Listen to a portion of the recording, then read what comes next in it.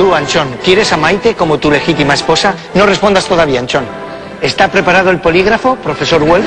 Un momento, ¿pero esto qué es? Es una máquina de la verdad. La iglesia está harta de tanto divorcio y de que la gente solo se case por el banquete y el viaje.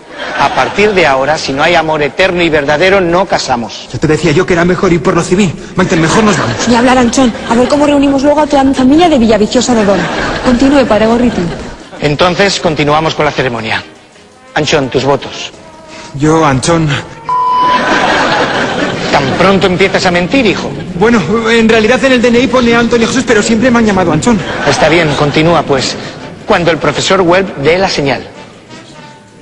Bueno, yo, Antonio Jesús, prometo amarte y respetarte en la salud y en la enfermedad. Anchón, estás mintiendo. Hombre, yo, es que los enfermos siempre me han dado mucha grima. Solo verte moquera el otro día me daba un ascazo. Eres un cerdo. Con lo ilusionada que estaba yo con esta ceremonia, que incluso me he mantenido virgen hasta hoy. ¿Qué? ¡Mentirosa! ¡Que no eres virgen! Y yo todos estos años aguantando como un campeón. Hija, por favor, qué vergüenza. Con la ilusión que yo tenía en esta boda.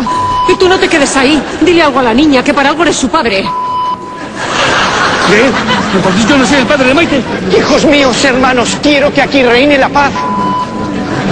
Es el padre de Maite. Un momento, no puede estar así en la casa del señor. Oiga, ¿seguro que esta máquina es fiable? ¿Qué va? Pero estos curas tragan cualquier cosa.